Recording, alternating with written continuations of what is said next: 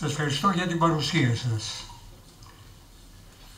Μια ωραία στιγμή για τον τόπο μας, για αυτή την παρουσίαση από τον οίκο, τον εκδοτικό Γκούντεμπεργκ, αυτό το σημαντικό έργο, το σπουδαίο έργο του Παύλου Νερούντα, τη ζωή μου, ομολογώ, την έζησα.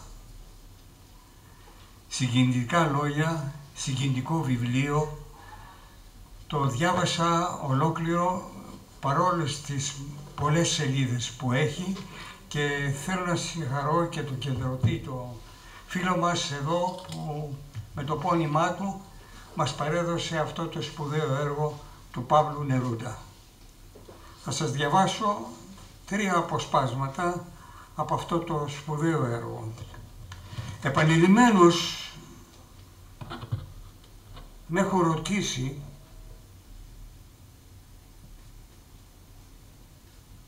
πότε έγραψα το πρώτο μου ποίημα, πότε γεννήθηκε μέσα μου η ποίηση. Θα προσπαθήσω να το θυμηθώ.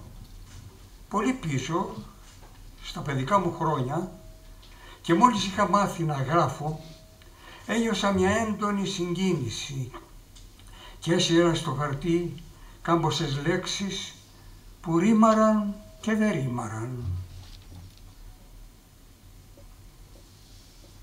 Και που μου ήταν παράξενες και που διέφεραν από τον καθημερινό λεξιλόγιο. Τις αντέγραψα στο καθαρό, συνεπαρμένος από βαθιά αγωνία, από ένα συνέστημα άγνωστό μου μέχρι τότε. Κάτι σαν άγχος, ανάκατο με θλίψη. Ήταν ένα ποίημα αφιερωμένο στη μητέρα μου, σε αυτή τη γυναίκα δηλαδή που γνώρισα για μητέρα μου, στην αγγελική μου μητριά που η τρυφερή της σκιά προστάτεψε όλη την παιδική μου ηλικία.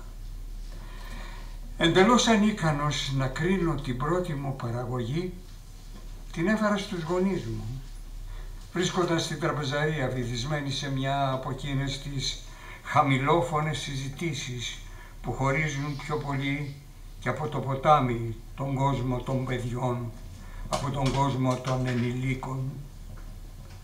Άπλωσα το χέρι και τους έδωσα το χαρτί με τους στίχους, μη έχοντας ξετρομάξει ακόμα από την πρώτη επίσκεψη που μη είχε κάνει η έμπνευση.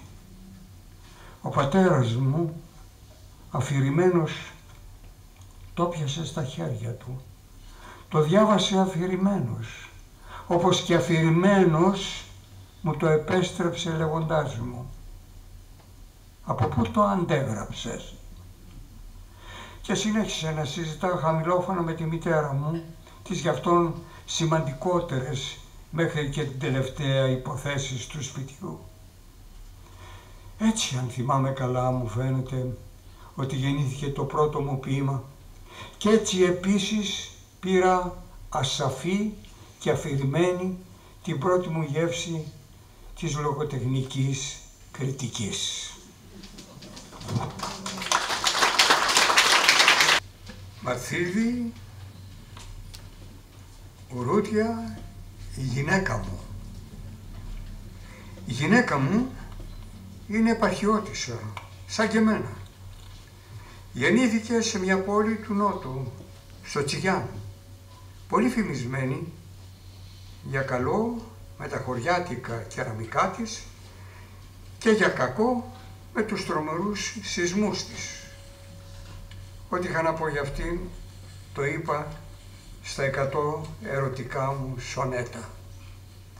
Ίσως μάλιστα αυτό, αυτή η στίχη να ορίζουν τι σημαίνει η γυναίκα αυτή για μένα.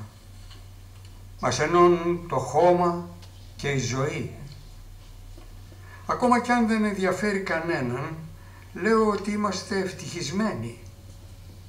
Μοιραζόμαστε τον κοινό μας χρόνο σε μακρινές παραμονές στις ερημικές ακτές της Χιλής. Όχι το καλοκαίρι, γιατί τότε οι ακρογιαλιές στεγνώνονται από τον ήλιο και μοιάζουν σαν κυτρινόχρωμες έρημοι. Το χειμώνα, ναι, όταν μέσα στην παράξενη βλάστηση η βροχή και το κρύο κάνουν το τοπίο πράσινο και κίτρινο, άλικο και γαλάζιο. Κάποιες φορές αφήνουμε το άγριο και μοναχικό ωκεανό και ανεβαίνουμε στην νευρική πόλη του Σαντιάγκο όπου υποφέρουμε μαζί από την περίπλοκη ύπαρξη των άλλων. Η Μαλθίδη τραγουδάει με δυνατή φωνή τα τραγούδια μου. Εγώ τις αφιερώνω όταν γράφω και όταν έχω. Δεν είναι πολλά, αλλά αυτή είναι ευχαριστημένη.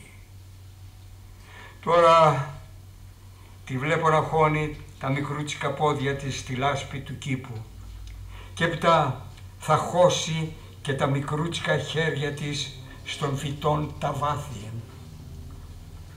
Από το χώμα με πόδια και χέρια και φωνή και μάτια μου κουβάλισε όλες τις ρίζες, όλα τα λουλούδια, όλους τους αβαδιαστούς κήπους της ευτυχίας.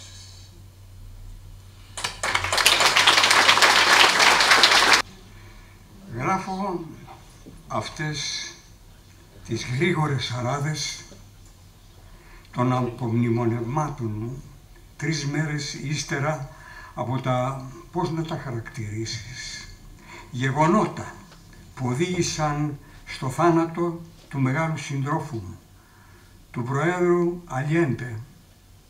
Η δολοφονία του αποσιωπήθηκε. Ο ενταφιασμός του έγινε μυστικά. Μόνο στη χείρα του επιτράπηκε να συνοδεύσει την αθάνατη σωρό του. Η εκδοχή των δολοφόνων του είναι ότι βρήκαν στο άψυχο σώμα του εμφανή σημάδια αυτοκτονίας. Η εκδοχή που δημοσιεύτηκε στο εξωτερικό είναι διαφορετική. Αμέσως μετά από τον αέρος βομβαρδισμό ανέλαβαν δράση τα θεροκισμένα οχήματα, πολλά τάγκς, για να κάνουν άφοβα πόλεμο ενάντια σε έναν, ενάντια στον πρόεδρο της Δημοκρατίας της Χιλής, τον Σαλβαδόρ Αλιέντε, που τους περίμενε στο γραφείο του, μη έχοντας κανέναν άλλο μαζί του, παρά μόνο τη μεγάλη καρδιά του, όντας κυκλωμένος από καπνούς και φλόγες. Έπρεπε να υποφεληθούν από μια τόσο ωραία ευκαιρία και χρειάστηκε να το χτυπήσουν με βολές μυδραλίων επειδή αυτός ποτέ δεν θα εκατέλειπε το αξίωμα το οποίο είχε εκλεγεί. Το σώμα εκείνο θαύτηκε μυστικά σε κάποιο μέρος, κάπου. Η ζωρός εκείνη που βάθησε προς τον τάφο, συνοδευόμενη από μία μόνο γυναίκα, που κουβαλούσε μέσα της την οδύνη όλου του κόσμου, εκείνη η ένδοξη μορφή πέρασε διάτρητη και κομματιασμένη από σφαίρες των υδραλιοβόλων των στρατιωτών της Χιλής που είχαν για άλλη μια φορά προδώσει τη Χιλή.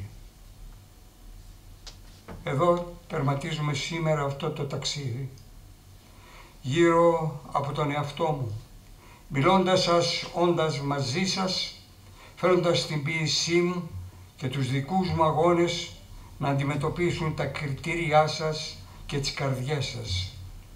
Δεν θέλησα να πληγώσω καμιά συνείδηση, ούτε να σβήσω κανένα σας όνειρο. Μακάρι να βρήκατε στα λόγια μου απάντηση σε κάποια κρυφά σας ερωτήματα που σας ευάρεναν το στήθος. Εύχομαι όμως επίσης να έχουν απόψε ξυπνήσει μέσα σας ερωτήματα και νέες δυσαρέσκειες. Η ζωή, οι χαρές και οι λύπες του κόσμου ας μπαίνουν κάθε μέρα στο σπίτι μας γκρεμίζοντας τις πόρτες του. Η ζωή είναι φτιαγμένη από τις μυστηριώδεις ουσίες της νύχτας που πεθαίνει και την αυγή που γεννιέται. Και σε εσάς μαζί με κάθε απάντηση που μόλις πήρατε ας γεννιέται και μια νέα ερώτηση. Ας πάμε να βρούμε λοιπόν το αύριο, κυρίες και κύριοι, το μυστήριο, το αύριο.